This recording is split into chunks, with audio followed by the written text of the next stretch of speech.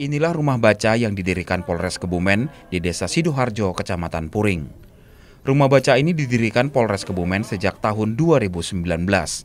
Tujuannya untuk mencerdaskan kehidupan anak-anak generasi penerus.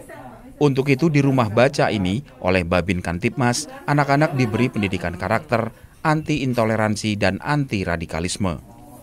Seiring dengan pandemi COVID-19 yang mengharuskan anak-anak lebih banyak belajar di rumah, rumah baca ini dilengkapi fasilitas internet.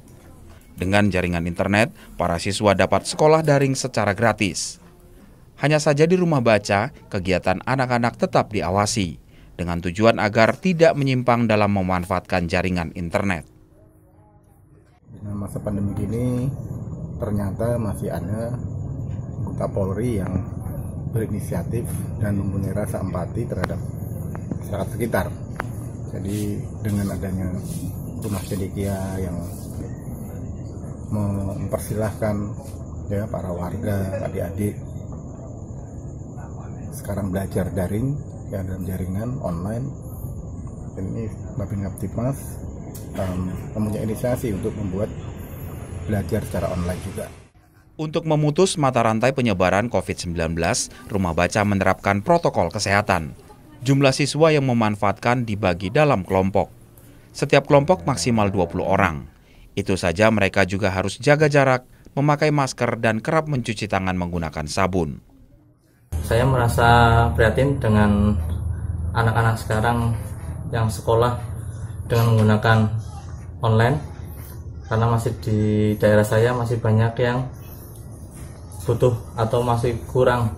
Jadi saya mempunyai keinginan dan mempunyai inovasi untuk di rumah belajar ini saya menyediakan wifi ataupun sementara masih tethering pakai HP. Para siswa dan orang tua menyambut positif rumah baca ini. Karena jaringan internet di rumahnya jelek, sehingga kesulitan dalam mengikuti sekolah daring. Belajar daring sama teman-teman itu ada wifi gratis. Hmm. Ya rame-rame senang. Kalau ke sini tiap jam berapa? Ya kadang jam 8 udah di sini kan dimulainya jam 8 hmm. sampai jam 12. Sampai jam 12 ya. ya. Setiap hari ya? Iya. Setiap hari. Hmm. Mewakili dari orang tua anak-anak ini sangat sekali apa namanya mendukung adanya rumah baca di sini bisa membantu anak-anak yang di sini pada belajar itu jadi orang tuanya juga sangat berterima kasih bisa belajar di sini dengan semangat. Meski penggunanya banyak, rumah baca hanya buka mulai jam 8 pagi sampai pukul 14 siang. Ini dilakukan agar para siswa dapat berinteraksi langsung dengan keluarga di rumah. Dari Kebumen, Johartoyo iNews melaporkan.